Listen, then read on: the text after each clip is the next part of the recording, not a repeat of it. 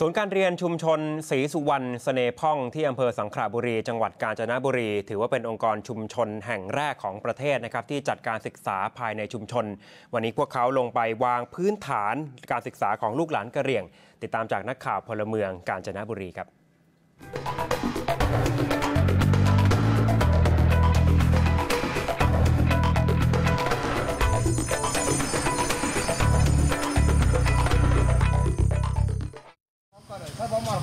วันนี้หลายหน่วยงานในพื้นที่ตำบลไล่โว่อำเภอสังขบุรี จังหวัดกาญจนบุรี ซึ่งทั้งเจ้าหน้าที่เขตรักษาพันธุ์สัตว์ป่าทุ่งใหญ่นเรศวรด้านตะวันตก เจ้าหน้าที่องค์การบริหารส่วนตำบลไล่โว่ชาวชุมชนเสน่ห์พ่องและนักเรียน มาช่วยกันลงแรงขุดหลุม เพื่อทำบุญวางเสาเอก สร้างอาคารเรียนของศูนย์การเรียนชุมชนศรีสุวรรณเสน่ห์พ่อง เพื่อแก้ปัญหาอาคารเรียนให้กับนักเรียนชั้นมัธยมศึกษาปีที่หนึ่งที่ยังไม่มีอาคารสถานที่เรียนที่มั่นคงพยายามจะช่วยกันใช่ไหม แล้วก็รวมแรงงานของชาวบ้านให้มาช่วยกัน แล้วทางพี่หน่องก็ จะหาเพื่อมาช่วยในทางอุปกรณ์ต่างๆ แล้วก็ทางชาวบ้านก็ช่วยกันเท่าที่มีใช่ไหมครับไอ้เรื่องอุปกรณ์ที่มี แล้วก็ค่าแรงก็ไม่มีมีแต่ก็ส่วนร่วมกันทางชาวบ้านก็จะจับเวรกันครับต่อไปนะ ตั้งแต่วันนี้เป็นต้นไปก็จะจะเวรจะเข้าครั้งหนึ่งก็ประมาณสักยี่สิบคน แล้วคาดว่า น่าจะเสร็จภายในเดือนหน้า หรือธันวาไปปลายเดือนแล้วกลางเดือนนะครับ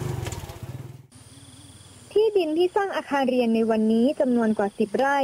ได้รับการบริจาคจากคุณไมตรีเสตพันธ์ ซึ่งเป็นผู้หนึ่งที่ตระหนักถึงความสำคัญของการศึกษาที่ลูกหลานชาวกะเหรี่ยงควรได้รับ และคาดหวังว่าที่ดินผืนนี้จะใช้เป็นพื้นที่สำหรับเปิดการเรียนการสอนในระดับมัธยมปลาย และระดับอุดมศึกษาในอนาคต ถ้าการทำอะไรก็แล้วแต่นะคะในในชุมชน ทั้งทั้งหกชุมชนเลยเนาะในในพื้นที่ของเขตนะคะถ้าเป็นประโยชน์กับชุมชนเป็นที่ตั้งนะคะก็เป็นประโยชน์ต่อส่วนรวมทางเขตเราไม่ไม่ขัดข้องอยู่แล้วนะคะ แต่ว่าอ่า ก็ทุกคนน่าจะทราบว่าตรงนี้มันเป็นพื้นที่ของเขตรักษาพันธุ์สัตว์ป่าทุ่งใหญ่นเรศวรด้านตะวันตกคือมันก็จะมีระเบียบมีกฎหมายต่างๆ ที่เราต้องปฏิบัติตาม เพราะฉะนั้นแล้วการที่จะทำอะไรต่างๆเนี่ยเราก็ต้องทำตามขั้นตอนตามระเบียบให้มันถูกต้องนะคะ ชุมชนมองว่าการศึกษาในวันนี้เป็นเรื่องสำคัญ ที่ไม่ใช่ตอบโจทย์เฉพาะการศึกษาของชาติแต่เพียงอย่างเดียวเท่านั้น แต่การศึกษาที่ชุมชนจัดขึ้นเองในวันนี้กำลังตอบโจทย์ความยั่งยืนของวิถีชีวิตวัฒนธรรมกะเหรี่ยง และทรัพยากรธรรมชาติในพื้นป่าทุ่งใหญ่นเรศวรต่อไป